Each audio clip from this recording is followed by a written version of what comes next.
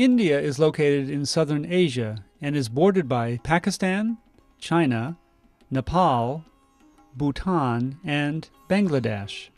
It is also surrounded by water on three sides. India's natural resources include coal, iron, natural gas, and petroleum. India's climate varies, with the wet tropical monsoon season followed by a season of hot, dry climate. The major religion practiced in India is Hinduism, a very diverse religion characterized by a belief in reincarnation. Music and dance have always been an important part of India's history and culture. Today, music and dance continues to be a form of religious inspiration, cultural expression, and entertainment. The marvelous architecture found throughout India is remarkably unique and represents the history, culture, and religious beliefs of the country. Indian architecture has combined the influences of many regions and today remains as some of the most breathtaking works of art in the world. Home to the second largest population in the world after China, the population of India has reached well over a billion people and is growing at a very considerable rate. While India has an amazing history and great cultural diversity, important environmental issues have begun to arise in the country, as they have in all countries around the world. India is predominantly based on fossil fuels and uh, petroleum which accounts mostly for the vehicular traffic and the energy demands of vehicles. And for as regard for industrial and domestic purposes electricity is mostly produced by thermal power corporations. And uh, the thermal power is mostly based on coal natural gas and uh, oil to some extent. But most, mostly it is uh, coal and it constitutes to around 70 percent.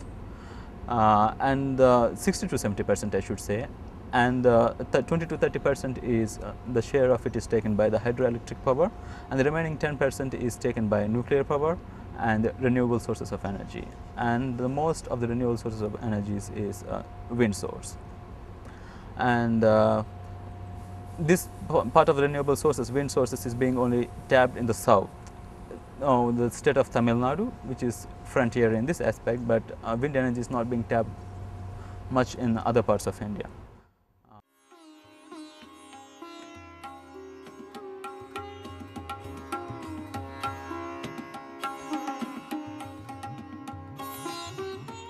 I'm here in Bangalore and have had a chance this afternoon to interview a number of people about their feelings and opinions on uh, the future of energy use and energy generation in India. So let's have a look at some of the diverse opinions uh, expressed by the uh, local people. As far as the energy is concerned, it's got to come from outside. I don't really think you know, you can't expect this country to actually come have the potential to come up with something that will actually sustain the energy sources, at least for them. Considering the population of the India is huge population, yeah. there is a huge amount of waste that's being disposed of from the huge amount of population. Yeah. That waste can be regenerated and can be used as a uh, biogas. Yeah, alternate energy. Alternate energy source that can be used as a very good fuel. We can do wind energy. We can. We have to conserve the energy, and we can get it from other countries also. You know, government has to do it. We have to replace hydrocarbons gradually. The most important is the development of solar energy. Second alternative is the atomic energy. These are the two things that we have to. Other things we may possibly be subsidiary, you see, in the coming years.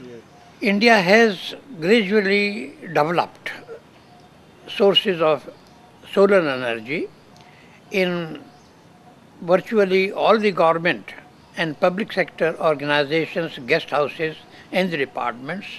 We have now the solar energy uh, for heating purposes, but it has not yet come say, to the general people or general community for domestic use.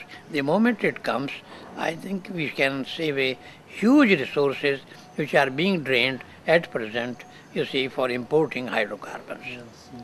Nuclear power, mm-hmm. as everybody knows, we have got a very good uh, now help and cooperation from United States, France and Russia, all these three countries have assured us that whatever we want in this connection, technology and other things that would be coming to this country and we shall gradually have larger development, greater development of atomic energy in this country.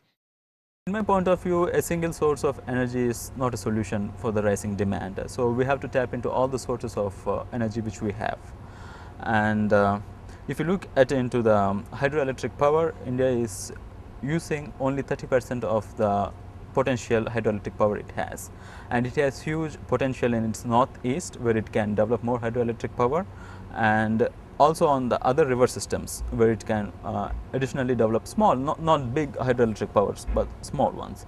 And there is this project of interconnecting rivers and that would also add up, that would also create a potential to create more hydroelectric power plants and add it to the uh, existing power.